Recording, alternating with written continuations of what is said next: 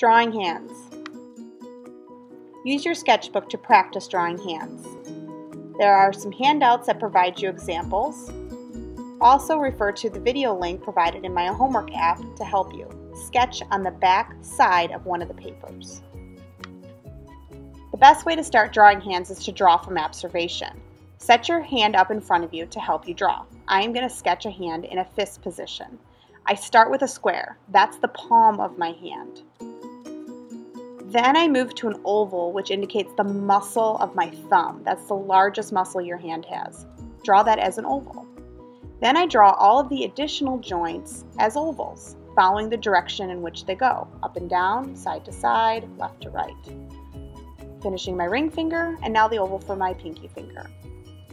Then I work my way around my outlines, defining the hand, the wrist, and then I go into my contours, redefining more of my lines and the shapes of my hand. What does that outline really look like? What does that nail really look like?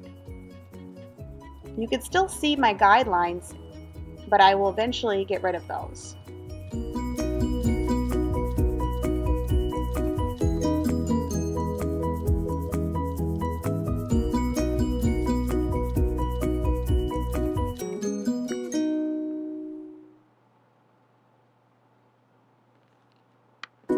Before I get too heavy in my details, I do need to erase my guidelines.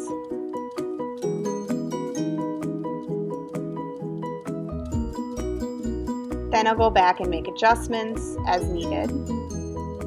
But I have to put my hand back into this position to really make sure I can see all of the detail and lines that I might have missed in my guideline drawing.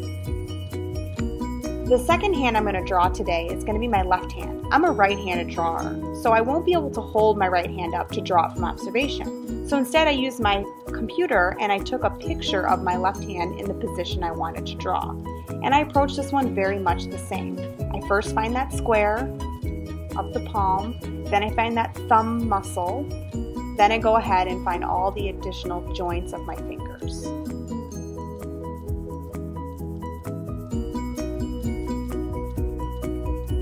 Then I move into my outlines. And then I'll go into my contours and begin erasing some of those guidelines.